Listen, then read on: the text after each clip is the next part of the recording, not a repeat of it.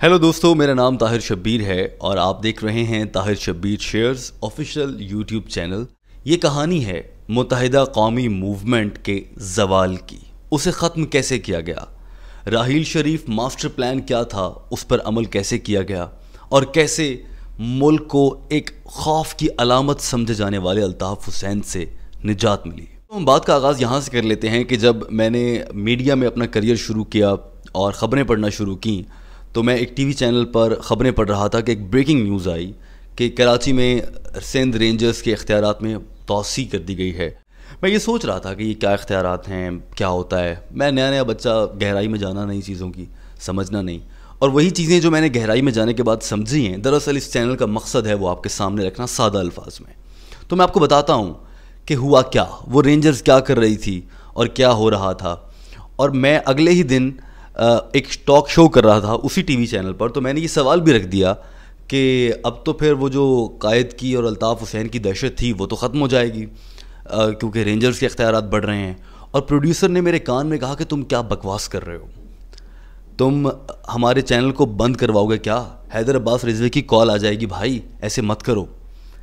मैं हैरान कि इतनी दहशत? सुन तो रखा था हमने, अल्ताफ़ भाई की दहशत है, पर इतनी एक छोटे से चैनल पर बैठकर सुबह आठ बजे का मॉर्निंग शो मुझ जैसा कल का बच्चा एंकर जो भी नया नया एंकर बना है, वो अगर ये कह देता है तो डर जाते हैं सब। और अगले दिन मुझे शो कॉज नोटिस भी हुआ, मुझे एचआर ने तलब किया चैनल के मालिक ने मुझसे मीटिंग की और कहा कि, भाई, तुम क्या कर रहे हो? बहरहाल, मैं बच्चा था, मुझे मालूम नहीं था। सूरत हाल ये थी उन दिनों में कि army chief general Raheel Sharif ने ये एक मास्टर प्लान तैयार किया था। पाकिस्तान को बड़े बड़े मसाइल से निकालने के लिए। जिनमें से एक ये था कि ये जो सियासी जमातों का कचरा है ना, इसको साफ़ करना है। जो बरसा बरस से लगा हुआ है। उसके तहत एक जाल बिछाया गया, बाकायदा जाल, जिस पर आज तक अमल हो रहा राहिल शरीफ का मास्टर प्लान क्या था? राहिल शरीफ ने यह किया कि पंजाब से नवाज़ शरीफ को माइनस कर दो, सिंध से जरदारी को माइनस कर दो, कराची से अल्ताफ़ हुसैन को माइनस कर दो तो पाकिस्तान तरक्की कर सकता है। और ये बात ठीक थी गुज्त तीस चालीस साल से यही लोग मुल्क पर हुकूमत करते आ रहे थे। फिर भी मुल्क ख़राब चल रहा था तो ठीक तो करना था। इनमें से एक अहम टारगेट था, कराची। कराची एक स्पेशल केस था, क्योंकि कराची में जहाँ पर इतना बड़ा मुआशी हब है, इतना बिज़नेस होता है, पाकिस्तान को बिज़नेस देने वाला शहर है, उस शहर में गोलियाँ चल रही थी बोरी बंद लाशें मिला करती थी। एक कॉल पर पूरा शहर बंद हो सकता था। और ये सब कुछ अल्ताफ़ हुसैन, जो कि पाकिस्तान से बाहर बैठे थे, उनके ज़रिए हो रहा था। वो एक टेलीफोन कॉल पर जलसा मुनद करते थे, पूरे मीडिया को लंबे लंबे बीपर। मैं बींग एन एंकर जब जब अल्ताफ़ हुसैन का बीपर लिया, या मेरे साथियों ने जब जब अल्ताफ़ हुसैन से फ़ोन पर बीपर लिया है, हमें इंस्ट्रक्शन हुआ करती थी, आप बीच में बोलेंगे नहीं। अल्ताफ़ भाई ने जो कहना है वो कह दें। क्योंकि अगर आप नहीं कहेंगे तो अगले दिन उठा लिए जाओगे।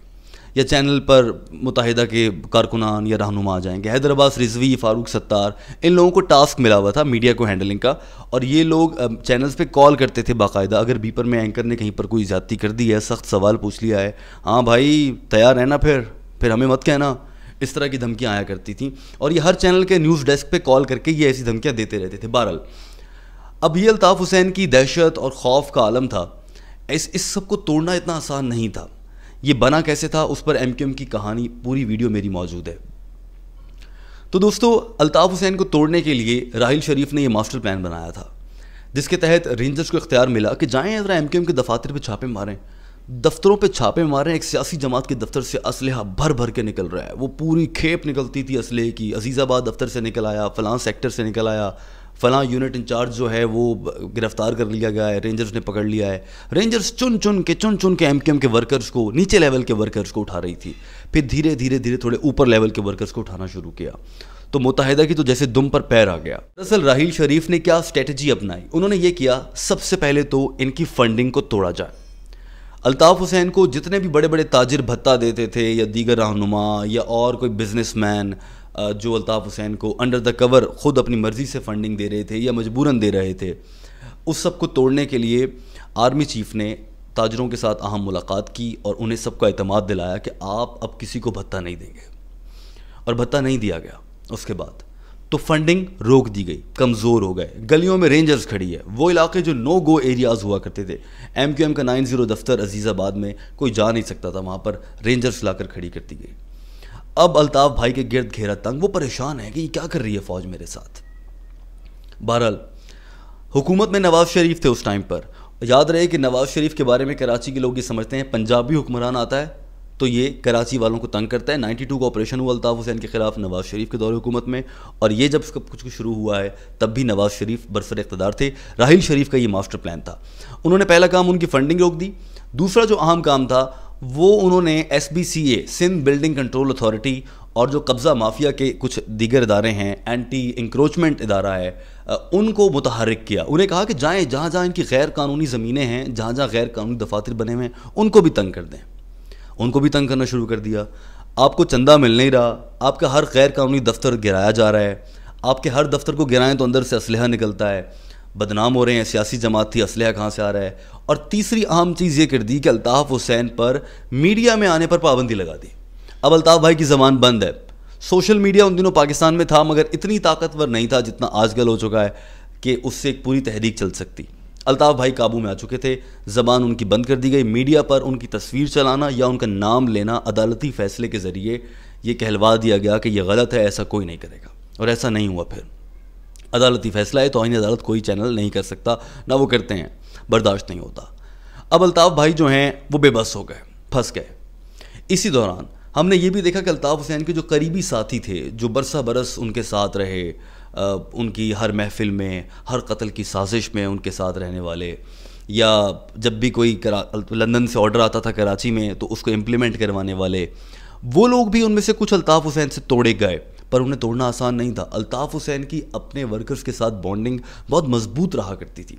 उसको तोड़ने के लिए बड़ा मुश्किल काम था, लेकिन जो सबसे अहम चीज़ इस्तेमाल हुई थी वो मुस्तफ़ा कमाल थे। वो सब कुछ छोड़ छाड़ नाराज़ होकर अल्ताफ़ भाई से तंग आकर उनकी इस पॉलिटिक्स से या किसी भी वजह से उन्हें अहदा ना मिलने की वजह से वो दुबई जा बैठे थे और एक कंपनी में मुलाजमत कर रहे थे, क्योंकि उनका एडमिनिस्ट्रेटिव स्किल्स हैं एम कर रखा है। तो वो मैनेजमेंट अच्छी कर लेते हैं कंस्ट्रक्शन कंपनी में जाकर मुलाजमत करने लग गए। कराची के मेयर रह चुके हैं जॉब भी अच्छी मिल गई, उससे पहले सेनेटर रहे, चले गए दुबई। मुस्तफ़ा कमाल वहाँ पर काम कर रहे थे। राहिल शरीफ ने ये सोचा कि मुस्तफ़ा कमाल को वापस बुलाया जाए। अब ये फ़ौज की सियासत में मुदाखलत है और मैं इसका कायल नहीं हूँ। मैं इसकी तारीफ़ नहीं करता। लेकिन जब एक बड़ा मिशन आपने अचीव करना होता है तो फिर ऐसे छोटे काम करने पड़ते हैं। मुल्कों की बका के लिए, क्योंकि गंद बहुत हो गया था ना। आप देखें, इससे फ़ायदा कितना हुआ? बहरहाल 2016 में मार्च का महीना, तीन मार्च को अचानक से पाकिस्तानी मीडिया जो है शोर डालता है कि मुस्तफ़ा कमाल वतन वापस आ चुके हैं। मुस्तफ़ा कमाल एक लंबी प्रेस कॉन्फ्रेंस करते हैं और रोते हैं और उसमें बताते हैं कि ये तो कातिल है, इसने लोगों को मरवाया है, ये बोरीबंद लाशें कराची में कैसे गिरती नहीं है? अल्ताफ़ भाई गिराते रहे। उससे पहले सवाल था आवाम की नज़र में।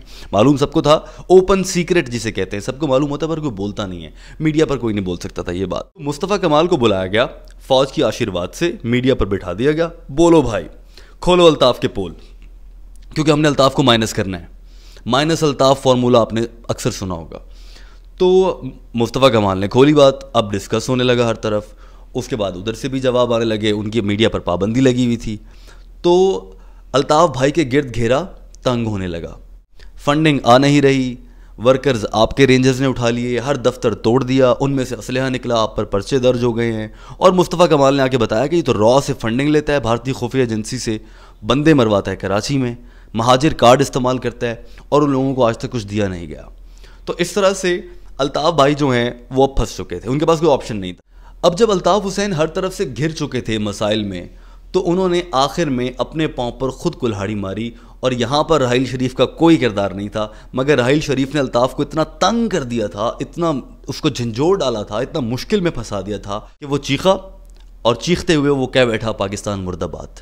22 अगस्त 2016 था। शाम का वक्त मैं कराची के दफ्तर में बैठ के ख़बरें पढ़ रहा था कि मेरे कान में प्रोड्यूसर ने मुझे बताया कि इस तरह से अल्ताफ़ भाई ने एक इज्तम में एक जलसे से खिताब करते हुए पाकिस्तान मुर्दाबाद का नारा लगाया है। साथ में ये भी कहा है कुछ टी वी चैनल्स हैं जो मेरे खिलाफ प्रोग्राम करते हैं उनका टी वी पर आना बंद था चूँकि।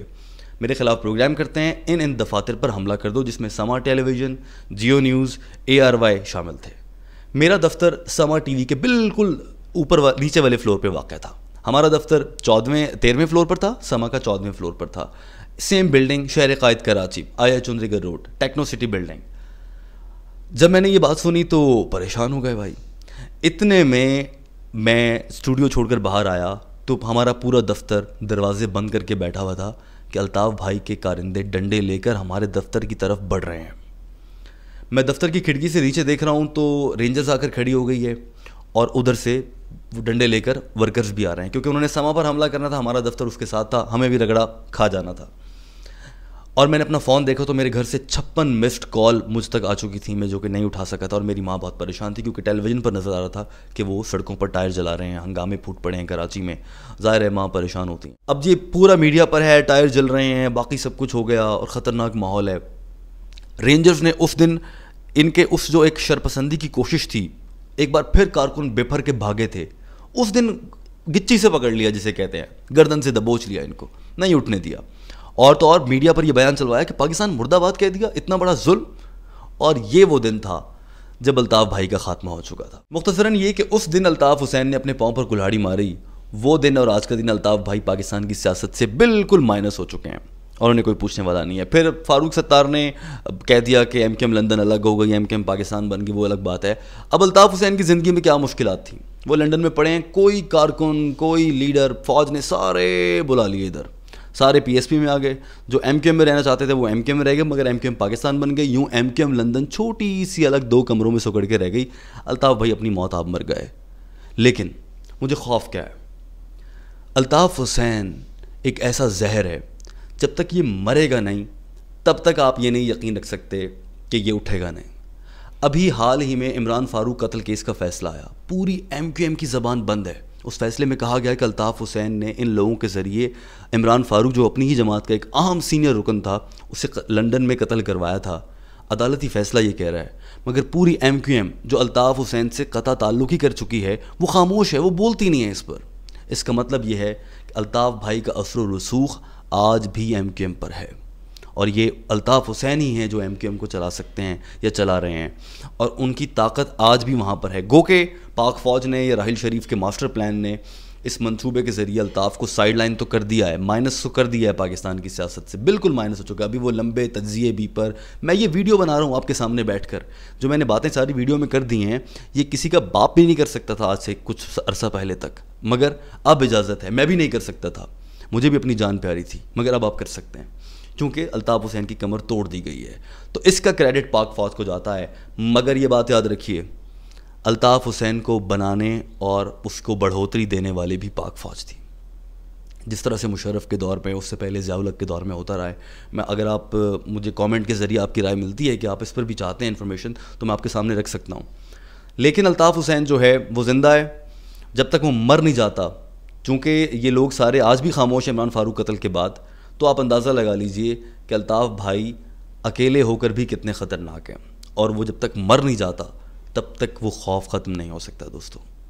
ये है अल्ताफ़ हुसैन की कहानी, जिस तरह से राहिल शरीफ ने उनको साइड लाइन किया, उनको काटा पाकिस्तानी सियासत से। तो दोस्तों, इस बात को समझिए कि फ़ौज जो है, वो बाज़ों जब सियासत में मुदाखलत करती है, वो गलत है, गैर आइनी है, गैर मुनासिब है, मगर कभी कभी वो अच्छे के लिए भी करती है। दोस्तों वीडियो देखने का बहुत शुक्रिया।